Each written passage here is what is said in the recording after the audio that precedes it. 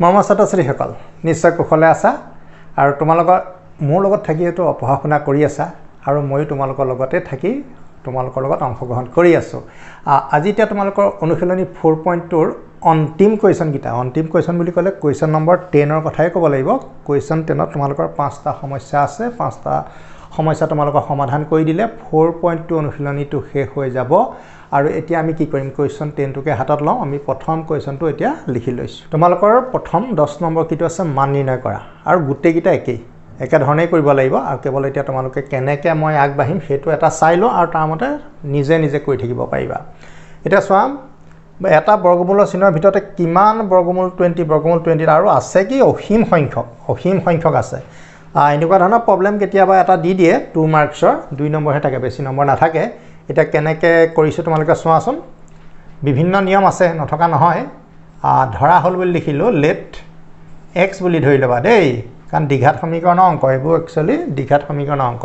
বৰ্গমূল চিন দেখিছাতো বৰ্গমূল চিন আঁতৰাব লাগিব। বৰ্গমূলটো কেনেকৈ আঁতৰাম স্কুৱেৰ কৰি পেলাই বৰ্গমূল চিন আঁতৰাই হোল স্কুৱেৰ বোথ ছাইডে দুইফালে লেফ্ট ৰাইট স্কুৱেৰ কৰিলেহে বৰ্গমূল চিন আঁতৰিব গতিকে এইবোৰ দীঘাত সমীকৰণৰ অংক। সেইটো তোমালোকে প্ৰথম জানি ল'বা।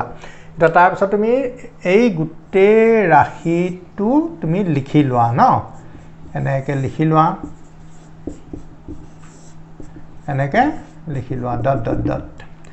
এতিয়া তুমি কি কৰিবা চোৱা এতিয়া তোমাৰ প্ৰথম কাম হ'ব স্কুৱেৰ কৰি দিয়া। খুব সাৱধানে লক্ষ্য কৰিবা দেই।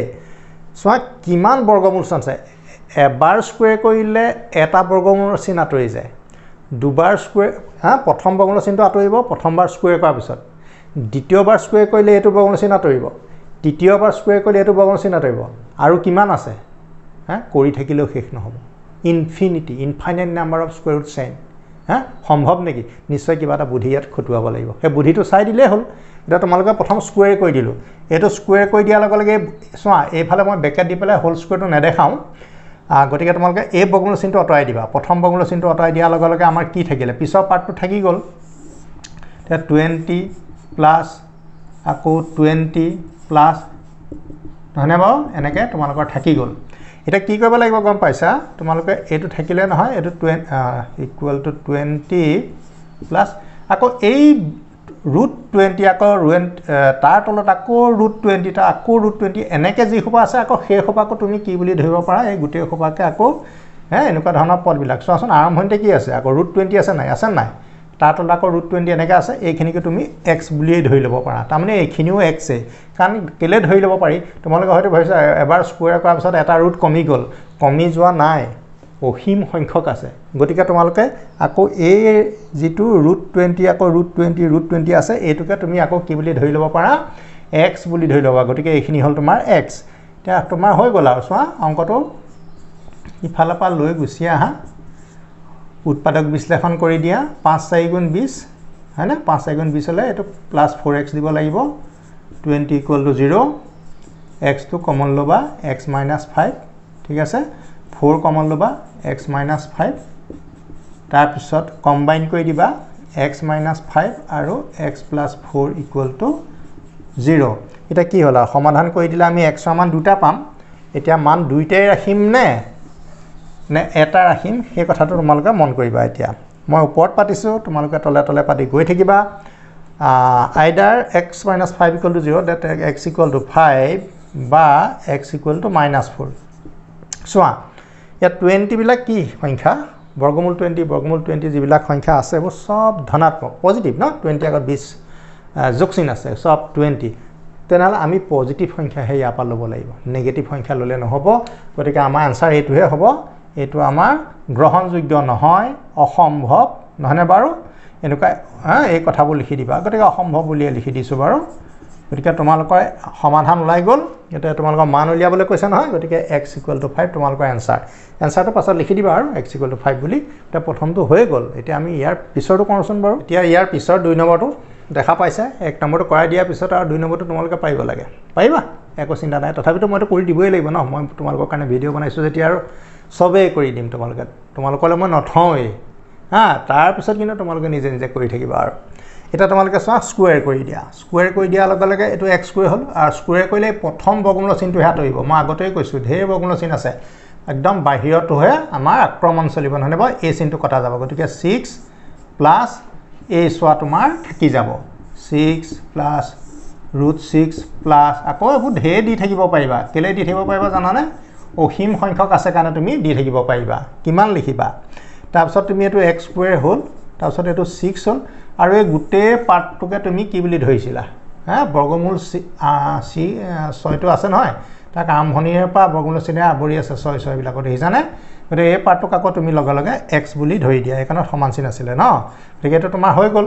হৈ যোৱাৰ লগে লগে এই চোৱা তোমাৰ এক্স হৈ গ'ল। গতিকে দেখা গৈছে x square equal to six plus x. এতিয়া কি কৰিবা আৰু? এক্স স্কুৱেৰ সিফালৰ পৰা এক্সটো গুচি আহিলে ছয়টো গুচি আহিলে। মই আগতে কৈছোঁ এই অংকবোৰ একচুৱেলি দীঘাত সমীকৰণ। এতিয়া ছয় পৰা ওলাবনে বাৰু? উৎপাদক বিশ্লেষণ কৰি চাওঁচোন। তিনি দুগুণ ছয়। হয়নে বাৰু? ওলাব। থাইছ x plus two x minus six equal to zero' তাৰপিছত এক্স কমন ল'লে এক্স মাইনাছ থ্ৰী আহিব। টু কমন ল'লে এক্স মাইনাছ থ্ৰী আহিব। ঠিকে আছে। তাৰপিছত x minus three x minus three দুটাৰ পৰা এটা পাতিব লাগিব এক্স প্লাছ টু পাতিব লাগিব। হা? এতিয়া either x minus three equal to zero' তাৰমানে x equal to three plus three ওলাব। এইটো x equal to minus two ওলাব। মই আগতেই কৈছোঁ যে এইখিনি চব ধনাত্মক মানৰ বৰ্গমূল লৈছোঁ গতিকে ইয়াত ঋণাত্মক মান আমাক নালাগে। এইটো গ্ৰহণযোগ্য নহয় নট একচেপ্টেবল হয় নহয়? গতিকে অসম্ভৱ বুলি আমি লিখি দিলোঁ। লিখা দিয়াৰ পিছত তোমাৰ আনচাৰ হ'ব এইটো। গতিকে তোমালোকৰ আনচাৰ দুই নম্বৰো পায়ে গ'লা। এতিয়া মই তিনি নম্বৰটো কৰিম। চোৱা এইটো তোমালোকৰ তিনিয়েই দিছে। আগত তো ছয় আছিলে আকৌ একেদৰে তোমালোকে ধৰি লোৱা। এক্স বুলি ধৰি লোৱা। লিখি পেলাই ৰাশিটো অকণমান পাতা আৰু থ্ৰী আকৌ তেনেকৈ দি পেলাই থ্ৰী আকৌ তেনেকৈ দি পেলাই three plus dot dot dot দিছে। তাৰপিছত কি কৰিবা? স্কুৱেৰ কৰি দিবা। স্কুৱেৰ কৰিলে কি হ'ব? প্ৰথম বৰ্গমূল চিনটো উঠি যাব তাৰপিছত তিনিৰ পিছৰখিনি থাকি যাব। সেইখিনি তুমি আকৌ একেধৰণে তুমি পাতি লোৱা। যিহেতু অসীম আছে কিমান পাতা পাতিবা আৰু? আমাৰ তিনিটাতকৈ পাতিব দৰকাৰ নাই। তাৰপিছত তোমাৰ এইটো এক্স স্কুৱেৰ হ'ল এইটো সমান তিনি হ'ল আৰু এই গোটেই চোৱাকৈ আকৌ আমি কি নাম দিব পাৰোঁ এক্স কাৰণ কৈয়ে থৈছোঁ যে বৰ্গমূল থ্ৰীৰে আৰম্ভ হৈ তাৰ তলত আকৌ ঢেৰ বৰ্গমূলত থ্ৰী আছে বৰ্গমূলৰ তলতো আকৌ বৰ্গমূল লৈ আছে নহয়নে বাৰু? গতিকে আমি শেষৰ সংখ্যাটো আমি বিচাৰি উলিওৱাটোৱে আমাৰ কাৰণে কষ্টকৰ হ'ব। গতিকে আমি এই ৰাশিটোকো আকৌ এইটো ৰাশি বুলিয়ে ভাবি ল'লোঁ আৰু তাৰ নাম দিছোঁ এক্স গতিকে তুমি কি হ'ব এতিয়া চোৱাচোন x square minus x minus three equal to zero' তিনিৰ পৰা উৎপাদক বিশ্লেষণ কৰি তোমালোকে ওৱান উলিয়াব নোৱাৰিবা গতিকে সূত্ৰ লগাই দিয়া। তোমালোকৰ বিকল্প উপায় আছে নহয় মাইনাছ বি তাৰমানে মাইনাছ ওৱান হ'ব। এইটো কণত ওৱান আছে plus minus root over b square তাৰমানে minus one square four a c c মানে ইয়াত মাইনাছ থ্ৰী হ'ব দেই। টু ইনটু ওৱান তাৰপিছত চোৱা দুই হ'ব মাইনাছ মাইনাছ প্লাছ এইটো মাইনাছ ওৱান স্কুৱেৰ মানে ওৱান এইটো প্লাছ কিমান হ'ব? বাৰ। গতিকে তলত টু থাকিলে ওৱান প্লাছ মাইনাছ ৰুট কিমান হ'ব? থাৰ্টিন ইয়াত এতিয়া তুমি ৰুট থাৰ্টিনৰ বৰ্গমূল ল'ব নোৱাৰা অংকটো এনেকৈয়ে থাকিব আৰু গতিকে আনচাৰ আহিলে এনেকৈয়ে তোমালোকে লিখি দিবা। দেই গতিকে তোমালোকৰ সমাধান হৈ গৈছে। এতিয়া আমি তেনেহ'লে চাৰি নম্বৰটো কাম কৰিম। এতিয়া তোমালোকে চোৱা মই ডাইৰেক্ট ৰাশিটো এক্স বুলি ধৰিয়ে লৈছোঁ আৰু পাতি লোৱা নাই আকৌ পুনৰবাৰ। তোমালোকে এইটো কেনেকৈ কৰিবা? চোৱা ইয়াততো বৰ্গমূলৰ চিন নাই যে আমি দুইফালে স্কুৱেৰ কৰি বৰ্গমূলৰ চিনটো আঁতৰাই ল'ম। গতিকে ইয়াতে নিশ্চয় কিবা বুদ্ধি এটা উলিয়াব লাগিব। বুদ্ধিটো তোমালোকে চোৱা এইটো এক্স লিখিলা এইটো টু লিখা। এইকণত মন কৰিবাচোন তোমালোকে চোৱা টু প্লাছ ওৱান বাই নহয়নে বাৰু? টু প্লাছ ওৱান বাই এনেকুৱা ধৰণৰ ওৱান বাই বুলি কওঁতে তলত চব টুৱে আছে মানে। এনেকুৱা ধৰণৰ ৰাখিবোৰক আমি কি বুলি ধৰোঁ? এক্স সেইকাৰণে আমি প্ৰথম টুটো ৰাখিলোঁ ওৱানটো ৰাখি দিলোঁ এতিয়া ওৱানৰ তলৰ যিটো পদ আছে দেখিছানে? কিমান আছে? অসীম আছে বহুত আছে। তাৰমানে two plus one by two plus এনেকৈ গৈ থাকিব। এই গোটেইখিনিকে তুমি আকৌ এক্স বুলি ভাবিব পাৰা। তেতিয়া অংকটো তোমাৰ হৈ যাব সোনকালে ওলাব। নহ'লে ইয়াৰ ইয়াৰ কোনো বিকল্প উপায় নাই। তুমি এটা কথাই মনত ৰাখিবা two plus one by two এনেকৈ যদি ৰাশিবোৰ থাকে সেইবোৰক এক্স বুলি কয়। সেইকাৰণে প্ৰথমটোতো মই ৰাখি দিলোঁ। ৰাখি দি ওপৰৰ ওৱানটো ৰাখিলোঁ। এই আঁচডালৰ তলত যিটো ৰাশি তুমি দেখা পাইছা সেইটো two plus one by two plus one by two plus এনেকৈ গৈ থাকিব অসীম সংখ্যক থাকিব।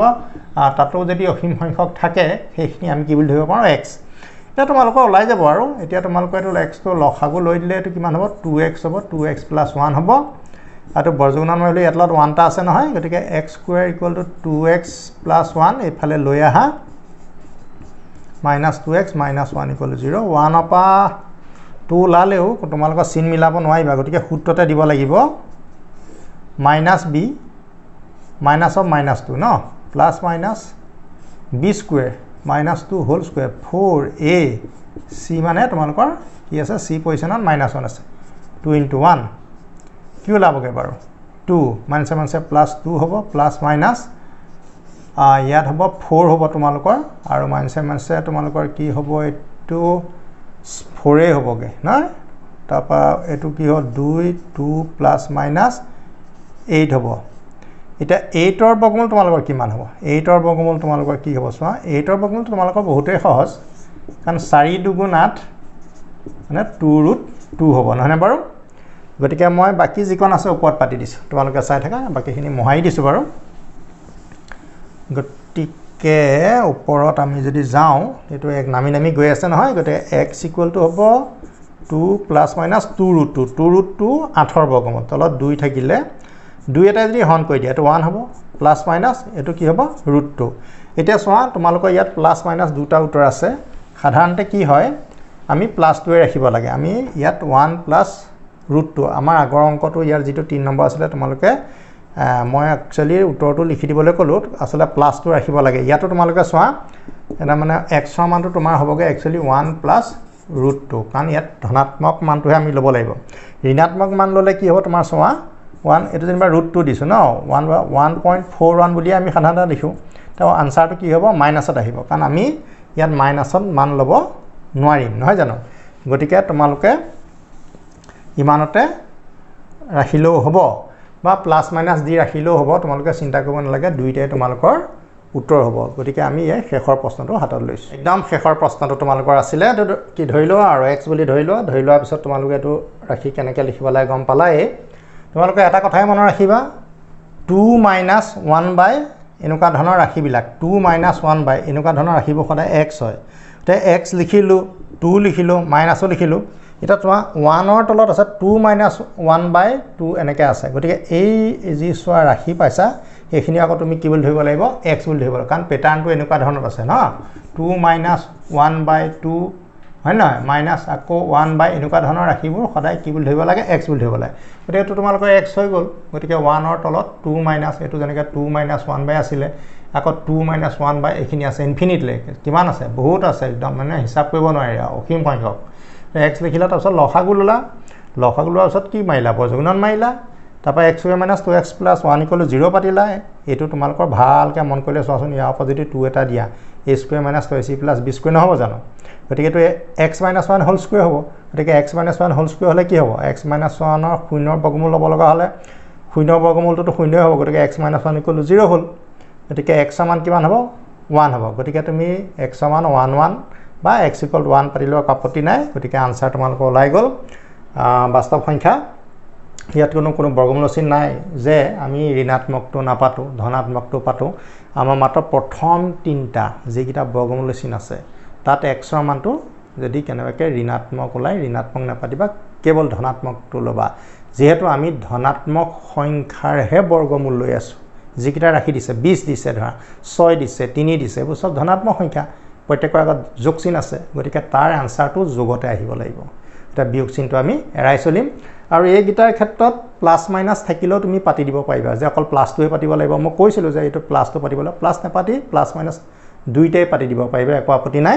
গতিকে তোমালোকৰ মই ফ'ৰ পইণ্ট টু অনুশীলনী সমাপ্ত কৰিলোঁ। এতিয়া আমাৰ কাম হ'ব নেক্সট অনুশীলনী ফ'ৰ পইণ্ট থ্ৰীৰ আৰম্ভ কৰা।